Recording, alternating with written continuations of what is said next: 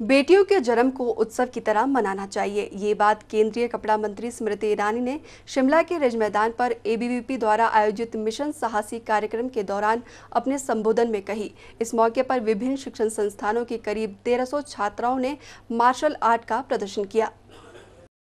केंद्रीय कपड़ा मंत्री स्मृति ईरानी ने कहा कि अखिल भारतीय विद्यार्थी परिषद के मिशन साहसी कार्यक्रम का मकसद छात्राओं को साहसी और आत्मनिर्भर बनाना है और हर छात्रा व युवती को आत्मरक्षा के गुण सिखाने के लिए इस कार्यक्रम को घर घर तक पहुँचाया जाना चाहिए। स्मृति ईरानी वीरवार को शिमला के ऐतिहासिक रिज मैदान पर विद्यार्थी परिषद के मिशन साहसी कार्यक्रम के मेगा डेमोस्ट्रेशन कार्यक्रम को संबोधित कर रही थी। इस कार्यक्रम में विभिन्न शिक्षण संस्थाओं की लगभग 1300 छात्राओं ने एक साथ रिज मैदान पर आत्मरक्षा की कला का प्रदर्शन किया। स्मृति ईरानी ने कहा कि वर्तमान माहौल में परिषद द्वारा छात्राओं को आत्मरक्षा के लिए प्रशिक्षित करने का ये कदम सराहनीय है। इस मौके पर स्मृति ईरानी ने कन्या भ्रूण हत्या की बुराई को समाप्त करने का आग्रह किया और कहा कि बेटियों के जन्म को उत्सव की तरह मनाया जाना चाहिए। उन्होंने कहा कि कन्याओं को कोख में न मारकर उन्हें साहस से बड़ा करें। उन्होंने कहा कि आज के दौर में पल पल लड़कियों को आत्मरक्षा की ज़रूरत है और इस आयोजन के लिए विद्यार्थी परिषद बधाई का पात्र है।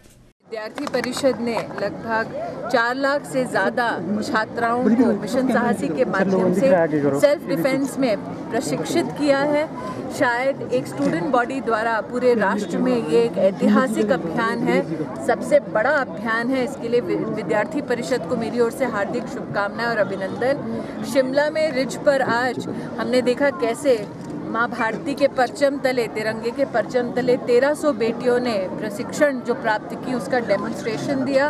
कार्यक्रम में एसपी कुलू, शालिनी अग्निहोत्री जी और साथ ही सेवानिवृत्त मेजर छवि जी आज यहाँ पर विराजित थी। महिला को इस प्रकार से सर्विंग ऑफिसर और जो ऑफिसर अब सर्व नहीं कर रही हैं, हमारी लड़कियों के सामने जब उपस्थित हुई तो निश्चित रूप से प्रेरणा का स्रोत बनी है। मैंने विद्यार्थी परिषद से ये भी आज निवेदन किया कि मिशन साहसी में जुड़ी हुई लड़कियाँ अगर किसी एक और लड़की को ये प्रशिक्षण दे तो ये कार्य घर घर परिवार परिवार पहुंचेगा। एसपी कुलू से मैंने विशेष निवेदन किया कि पूरी प्रक्रिया एफआईआर दर्ज करने से लेकर कोर्ट तक किस प्रकार से संघर्ष करना पड़ता है कानूनी प्रक्रिया की जानकारी भी हमारी बेटियों को दी जाए। इस मौके पर अखिल भारतीय विद्यार्थी परिषद की प्रांत मंत्री हेमा ठाकुर ने कहा कि प्रदेश भर में मिशन साहसी कार्यक्रम के तहत छात्राओं को आत्मरक्षा का प्रशिक्षण दिया गया।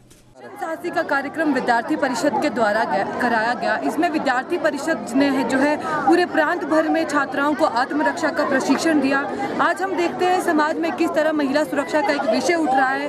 उस और एक सामाजिक और छात्र संगठन होने के नाते, जिम्मेदार छात्र संगठन होने के नाते विद्यार्थी परिषद ने अपनी ज़िम्मेदारी को समझा और विद्यार्थी परिषद ने ये पहल करी कि हम महिला सुरक्षा की तो बात करते पर महिला सुरक्षा के लिए हमें क्या करना चाहिए? तो उसके लिए विद्यार्थी परिषद ने ये मिशन साहसी का कार्यक्रम जो है, आयोजित किया, जिसके तहत विद्यार्थी परिषद ने जगह जगह जाकर अलग अलग शिक्षण संस्थानों पर जाकर जो है ट्रेनिंग सेल्फ डिफेंस का छात्राओं को दिया ताकि वो फिजिकली जो है स्ट्रांग बन सके और साथ साथ में मेंटली भी स्ट्रांग बन सके। उन्हें किस तरह से विकट परिस्थितियों से लड़ना है, उसका उन्हें वहाँ पर प्रशिक्षण दिया गया, जिसका आज मेगा डेमोन्स्ट्रेशन यहाँ रिज मैदान में था। Bureau report, city channel Shimla.